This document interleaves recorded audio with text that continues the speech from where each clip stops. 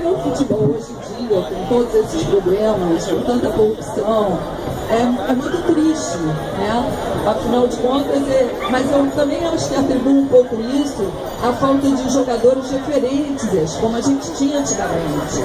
A gente tinha Gerson, Tristão, Revelino, PC, que está aí desonrando com a sua presença, é, Afonsinho, Sócrates, cabeças pensantes como Afonsinho e Sócrates, poxa, fazem uma falta absurda, né? Ainda mais hoje em dia.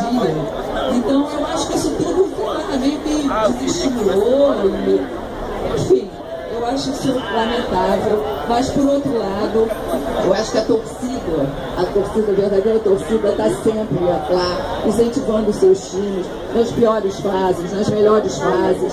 E acho que agora a torcida tem um papel muito interessante. Eu achei muito bacana ouvir esse rapaz que veio aqui da, da torcida do Flamengo falar da atuação de grupos de torcedores, os movimentos LGBT, contra o racismo. Poxa, isso é fantástico, né? É, é a, a paixão que sai do gramado e, e acompanha os movimentos da sociedade.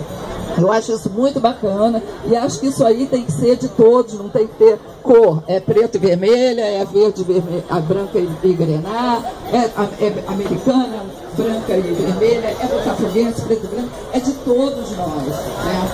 E aí até eu, eu vou falar uma coisa que eu não sei se todo mundo sabe, que é uma iniciativa do meu tricolor, que eu achei assim muito legal.